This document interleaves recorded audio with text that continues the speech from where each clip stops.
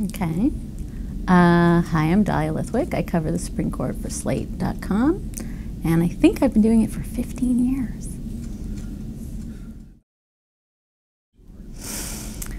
I think that coverage, you know, ebbs and flows over different eras. I think that the court is not covered to today the way it was in the Warren Court era. Certainly, it's not covered the way it was covered, you know, during uh, the Brethren era. Uh, so I think there's always going to be trends in the court. You know, I remember reading. Um, I'm trying to remember whose book it was. I think Jeff Shesol's book about the about. Uh, uh the FDR nominees and thinking, really? They got to just drink and play poker with the justices all the time? Awesome. You know, like, why can't, why am I not then, you know, with a cigar and a hat? And then I realized I'd be like making cannolis in the back room. But, you know, it's pretty, it's pretty interesting right now, the, the, distance between the court and the press corps on the one hand, and the, and the real formality I think that exists there. And I think what's also very interesting is this sense among and I guess I alluded to this, among the press corps that what's interesting and what's important is what happened to the law today.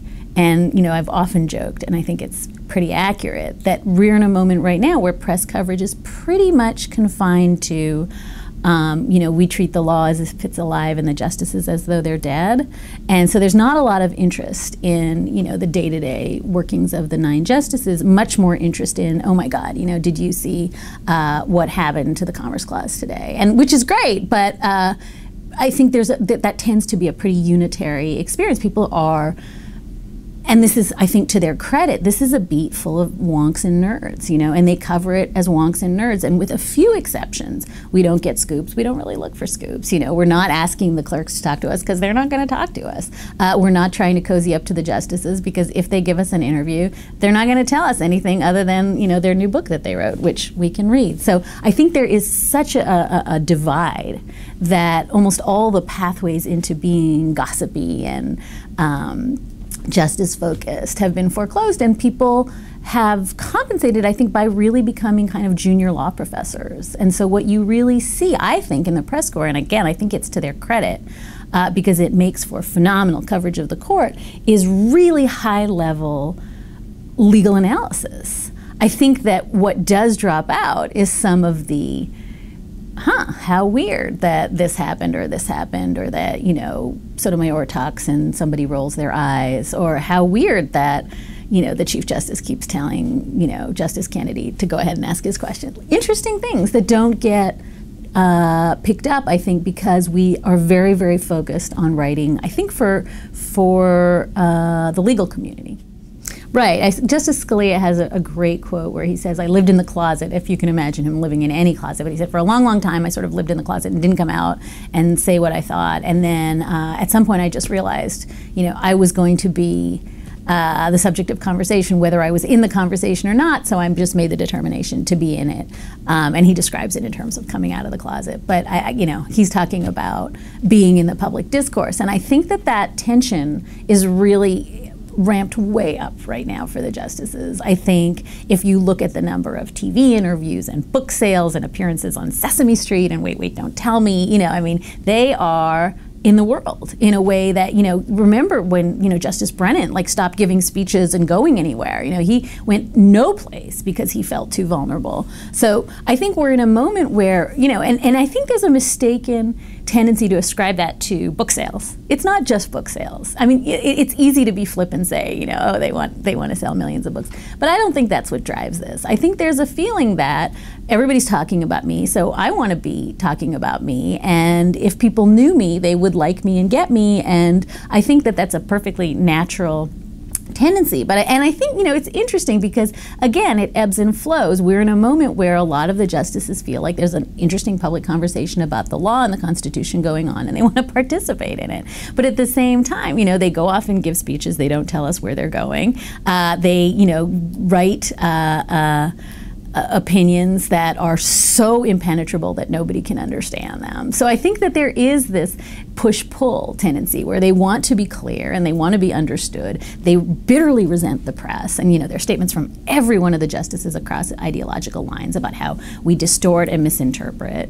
And yet, they don't make themselves clear. And so I think it's a real problem. You know, I think that they have a vested institutional interest in both protecting themselves and in obfuscating. And that's fine. You know, if you're going to write a 160 page opinion, like understand someone's got to interpret it.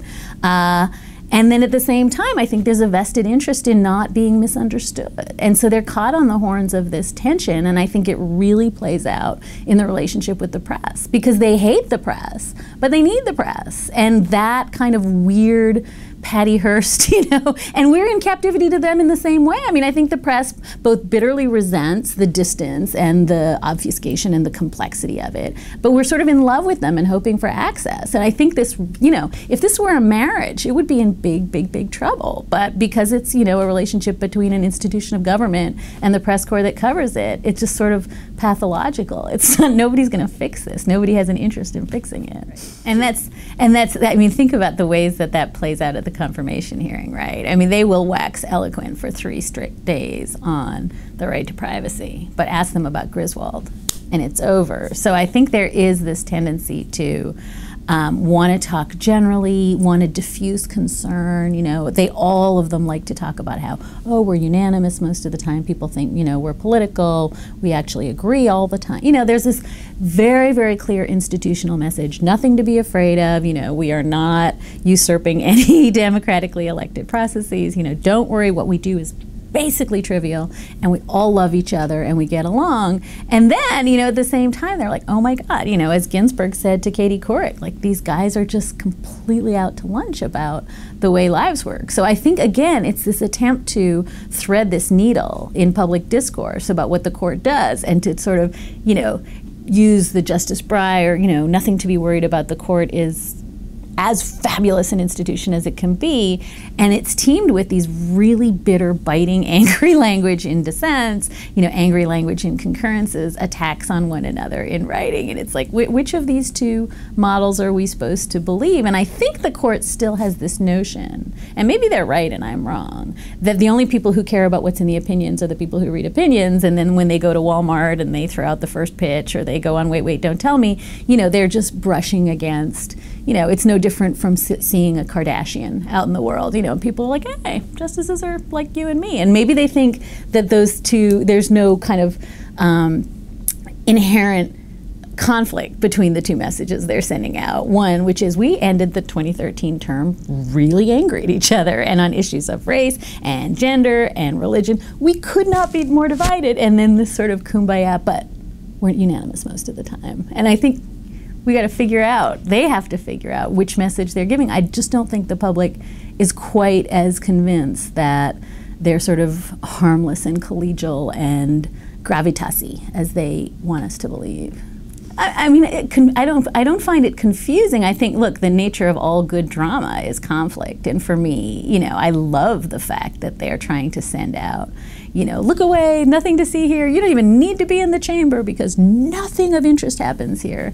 Uh, you know, and then the screaming and the hair pulling that goes on. I mean, how can I not love the tension between those two postures. Uh, I think, you know, part of my job is to explain why the court has a vested institutional interest in doing all the things it does to hamper real coverage and real scrutiny, and at the same time to say this is what's really going on. And as is often the case in complicated situations, both those realities are true. You know, that the court is, first and foremost, a court. It is different from other branches in government. It's not just about the hair pulling. There is real law happening there. And these are people, and they have histories, and sometimes they get really mad and write things that are intemperate, and that's super interesting. And to try to find a path for my readers between those two tents, the, the sort of between the tension between those two very distant places, and to say, you know, and I think this is, uh, you know, more and more, I think this is the most interesting part of my job is that you can hold in your head those two ideas at the same time. That you can say at the same time, you know, we don't, we're not like weird when we love the court. The people who report on the court really are not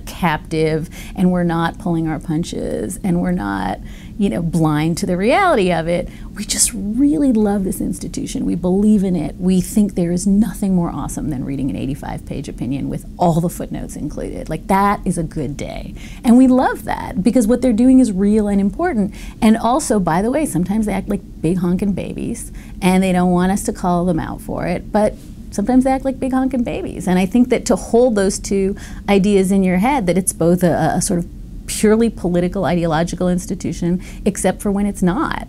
Uh, is, is kind of the core mission of, for me at least, this beat. And I think you get a lot of pressure to do one or the other, right? Editors love the narrative where you're like, appointed by George Bush, you know, like that's really important, you know, that this is 5-4, liberals, conservative, men, women, those are the narratives people love. But I think underneath that, there's this other narrative, which is also really interesting, which is this is how the law works. It's just different. It's not the way you pull the lever uh, when you go into the voting booth. And to try to marry those two narratives, I think, is kind of the most interesting part of the job. I think that there's a built in resistance for most of us who cover the court to the way the court wants to be covered. In other words, I think that you know, the persistent message that began, you know, long ago. I mean, long before for my era, when you know you would look at the transcript and the transcript said the court instead of right Justice Brennan because they were all the same. They were just brains in a vat, and they were all identical. You know, so there is is a, a, deep institutional history of making it very difficult to tell the personal story.